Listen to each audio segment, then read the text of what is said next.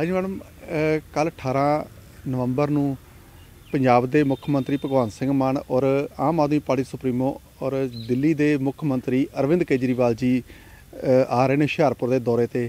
ਕੀ ਮੁੱਖ ਮਕਸਦ ਹੈ ਜੀ ਉਹਨਾਂ ਦਾ? ਆ ਦੇਖੋ, ਸਭ ਤੋਂ ਪਹਿਲਾਂ ਸਾਡੀ ਜਿਹੜੇ ਲੋਕ ਸਭਾ ਔਰ ਹੁਸ਼ਿਆਰਪੁਰ ਜ਼ਿਲ੍ਹੇ ਦੇ ਜਿੰਨੇ ਵੀ ਸਾਡੇ ਪਾਰਟੀ ਦੇ ਅਹੁਦੇਦਾਰ ਆ, ਸਾਰੇ ਅਸੀਂ ਬੜੇ ਖੁਸ਼ ਆ ਉਹਦਾ ਕਾਰਨ ਇਹ ਆ ਕਿ ਹੁਸ਼ਿਆਰਪੁਰ ਦੇ ਵਿੱਚ ਜਿਹੜਾ ਅਸੀਂ ਸਲੋਗਨ ਦਿੱਤਾ ਸੀਗਾ ਪੂਰੇ ਪੰਜਾਬ 'ਚ ਜਦੋਂ ਸਾਡੀ ਸਰਕਾਰ ਬਣੀ ਸੀ, ਅਸੀਂ ਲੋਕਾਂ ਨਾਲ ਇੱਕ ਪ੍ਰੋਮਿਸ ਕੀਤਾ ਸੀਗਾ ਕਿ ਅਸੀਂ ਵਿਕਾਸ ਦੇ ਰਾਹ ਤੇ ਪੰਜਾਬ ਨੂੰ ਲੈ ਕੇ ਜਾਵਾਂਗੇ। ਸੋ ਉਸੇ ਹੀ ਕੜੀ ਨੂੰ ਕੰਟੀਨਿਊ ਕਰਦੇ ਹੋਏ ਕੱਲ 18 ਤਰੀਕ ਨੂੰ ਦਿਨ ਸ਼ਨੀਵਾਰ ਸਾਡੀ ਪਾਰਟੀ ਦੇ ਸੁਪਰੀਮੋ ਸ਼੍ਰੀ ਅਰਵਿੰਦ ਕੇਜਰੀਵਾਲ ਜੀ ਔਰ ਪੰਜਾਬ ਦੇ ਬਹੁਤ ਹਰਮਨ ਪਿਆਰੇ ਮਹਿਬੂਬ ਨੇਤਾ ਸ਼੍ਰੀਮਾਨ ਭਗਵੰਤ ਮਾਨ ਜੀ ਉਹ ਕੱਲ ਇੱਥੇ ਆ ਰਹੇ ਆ। ਸੋ ਸਾਰੇ ਵਰਕਰ ਜਿਹੜੇ ਉਹਨਾਂ 'ਚ ਬੜਾ ਖੁਸ਼ੀ ਦੀ ਲਹਿਰ ਆ ਕਿਉਂਕਿ ਕੱਲ 867 ਕਰੋੜ ਦੇ ਜਿਹੜੇ ਪ੍ਰੋਜੈਕਟਸ ਨੇ ਉਹਨਾਂ ਦੀ ਜਿਹੜਾ ਉਹ ਉਦਘਾਟਨ ਕਰਨ ਆ ਰਹੇ ਆ ਔਰ ਮੈਂ ਅੱਜ ਇੱਕ ਪੰਜਾਬੀਆਂ ਨੂੰ ਕਹਿਣਾ ਚਾਹੂੰਗੀ ਕਿ ਪੰਜਾਬੀਓ, ਤੁਸੀਂ ਇਸ ਮਕਸਦ ਦੇ ਨਾਲ ਇਸ ਸਰਕਾਰ ਨੂੰ ਚੁਣਿਆ ਸੀਗਾ। ਪਹਿਲੀਆਂ ਸਰਕਾਰਾਂ ਨਾਲੋਂ ਇਸ ਕਰਕੇ ਵੱਖ ਏਜੰਡੇ ਦੇ ਤਹਿਤ ਤੁਸੀਂ ਜਿਹੜਾ ਉਹ ਸਪੋਰਟ ਔਰ ਵੋਟ ਕੀਤਾ ਸੀਗਾ ਕਿ ਅਸੀਂ ਵਿਕਾਸ ਤੇ ਕਾਰਜ ਕਰਾਂਗੇ। ਸੋ ਉਸੇ ਹੀ ਸਾਡੇ ਹੁਸ਼ਿਆਰਪੁਰ ਜ਼ਿਲ੍ਹੇ ਦੇ ਵਿੱਚ 867 ਕਰੋੜ ਦੇ ਜਿਹੜੇ ਪ੍ਰੋਜੈਕਟਸ ਨੇ, ਉਹਨਾਂ ਦਾ ਉਦਘਾਟਨ ਕਰਨ ਸੀਐਮ ਮਾਨ ਸਾਹਿਬ ਆ ਰਹੇ ਔਰ ਸਾਡੀ ਪੂਰੀ ਟੀਮ ਸਾਡੇ ਪੂਰੇ ਵਰਕਰ ਪੂਰੇ ਸਾਥੀ, ਪੂਰੇ ਜ਼ਿਲ੍ਹੇ ਦੇ ਸਾਥੀ ਕੱਲ ਉਹਨਾਂ ਦਾ ਬਹੁਤ ਵੱਡੇ ਪੱਧਰ ਤੇ ਜਿਹੜਾ ਉਹ ਵੈਲਕਮ ਕਰ ਰਹੇ ਆ।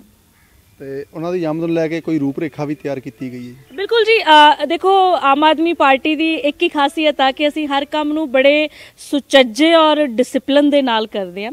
ਸੋ ਕੱਲ ਨੂੰ ਇੱਕ ਬਹੁਤ ਵੱਡੀ ਜਿੱਥੇ ਇਕੱਠ ਹੈਗਾ, ਉੱਥੇ ਬੜਾ ਵੈਲ ਮੈਨੇਜਡ ਇਕੱਠ ਆ, ਜਿਹਦੇ ਵਿੱਚ ਲੋਕਾਂ ਨੂੰ ਅਸੁਵਿਧਾ ਨਾ ਹੋਵੇ। ਲੋਕੇਸ਼ਨ ਇਸ ਤਰੀਕੇ ਦੇ ਨਾਲ ਫਾਈਨਲ ਕੀਤੀ ਗਈ ਹੈ, ਤਾਂ ਕਿ ਲੋਕਾਂ ਨੂੰ ਅਸੁਵਿਧਾ ਨਾ ਹੋਵੇ।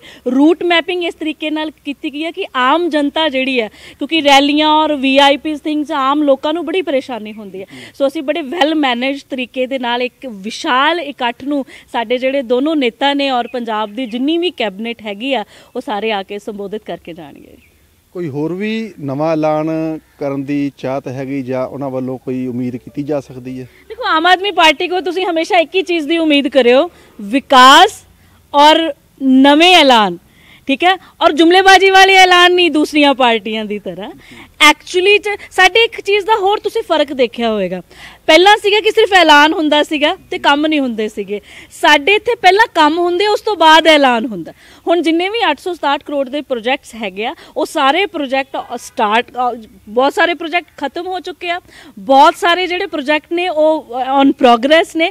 ਉਸ ਤੋਂ ਬਾਅਦ ਉਹਨਾਂ ਦੀ ਅਨਾਉਂਸਮੈਂਟ ਹੋ ਰਹੀ ਹੈ so this is not the party ਕਿ ਜਿਹਦੇ ਚ ਪਹਿਲਾਂ ਪਾਰਟੀਆਂ ਦੀ ਤਰ੍ਹਾਂ ਕਿ ਨੀਂਹ ਪੱਥਰ ਰੱਖ ਕੇ ਜਿਹੜਾ ਉਹ ਰਿਬਨ ਤੇ ਕੱਟ ਦਿੱਤਾ ਜਾਂਦਾ ਹੈ। ਲੇਕਿਨ ਕੰਮ ਜਿਹੜੇ ਉਹ ਪ੍ਰੋਗਰੈਸਿਵ ਮੋਡ 'ਚ ਨਹੀਂ ਹੁੰਦੇ। ਸੋ ਐਲਾਨ ਜਿਹੜਾ ਉਹ ਬਾਅਦ 'ਚ ਹੁੰਦਾ ਕੰਮ ਦੀ ਸ਼ੁਰੂਆਤ, ਉਹਦਾ ਪ੍ਰੋਗਰੈਸ ਔਰ ਉਹ ਖਤਮ ਪਹਿਲਾਂ ਹੁੰਦਾ ਹੈ।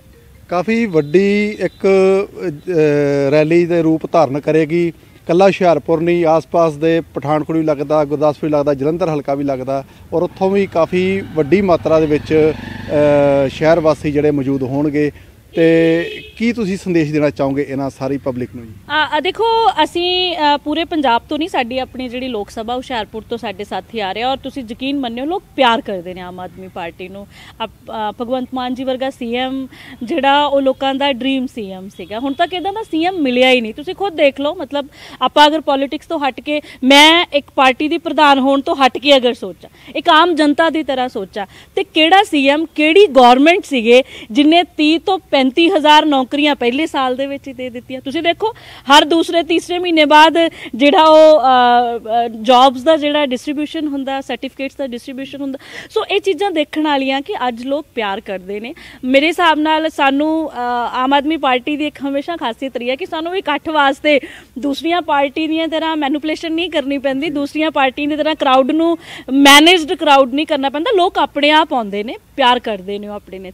ਔਰ ਜਿੰਨੇ ਵੀ ਸਰੋਤੇ ਤੁਹਾਡੇ ਮਾਧਿਅਮ ਰਾਹੀਂ ਮੈਨੂੰ ਸੁਣ ਰਹੇ ਨੇ। ਮੈਂ ਪੂਰੇ ਹੁਸ਼ਿਆਰਪੁਰ ਜ਼ਿਲ੍ਹੇ ਦੇ ਲੋਕ ਸਭਾ ਦੇ ਜਿੰਨੇ ਵੀ ਲੋਕ ਸੁਣ ਰਹੇ ਨੇ। ਮੈਂ ਤੁਹਾਨੂੰ ਸਾਰਿਆਂ ਨੂੰ ਇੱਕ ਬੇਨਤੀ ਵੀ ਕਰੂੰਗੀ ਕਿ ਕੱਲ ਇਸ ਜਿਹੜੀ ਰੈਲੀ ਦਾ ਹਿੱਸਾ ਜ਼ਰੂਰ ਬਣੋ, ਕਿਉਂਕਿ ਇਹ ਤੁਹਾਡੀ ਸਰਕਾਰ ਆ, ਤੁਹਾਡੇ ਦੁਆਰਾ ਚੁਣੀ ਹੋਈ, ਤੁਹਾਡੀ ਆਪਣੀ ਸਰਕਾਰ ਆ ਔਰ ਉਹ ਅੱਛੇ ਕੰਮ ਕਰ ਰਹੀ ਆ ਤੇ ਆਪਣੇ ਲੀਡਰਸ ਦੀ ਉਹਨਾਂ ਦਾ ਸਵਾਗਤ ਕਰਨਾ, ਉਹਨਾਂ ਦਾ ਵੈਲਕਮ ਕਰਨਾ, ਉਹਨਾਂ ਨੂੰ ਐਪਰੀਸ਼ੀਏਟ ਕਰਨਾ, ਉਹਨਾਂ ਦਾ ਹੌਸਲਾ ਵਧਾਉਣਾ ਸਾਡੇ ਸਾਰਿਆਂ ਦਾ ਜਿਹੜਾ ਉਹ ਫਰਜ਼ ਬਣਦਾ। ਮੈਂ ਸਾਰਿਆਂ ਨੂੰ ਅਪੀਲ ਕਰੂੰਗੀ ਕਿ ਕੱਲ ਆਓ ਸਾਰੇ ਹੋਮ ਹਮਾ ਕੇ ਅਸੀਂ ਅ, ਜੈਮ ਕੈਮਬ੍ਰਿਜ ਇੰਟਰਨੈਸ਼ਨਲ ਸਕੂਲ ਆ ਫਗਵਾੜਾ ਜਲੰਧਰ ਬਾਈਪਾਸ ਤੇ।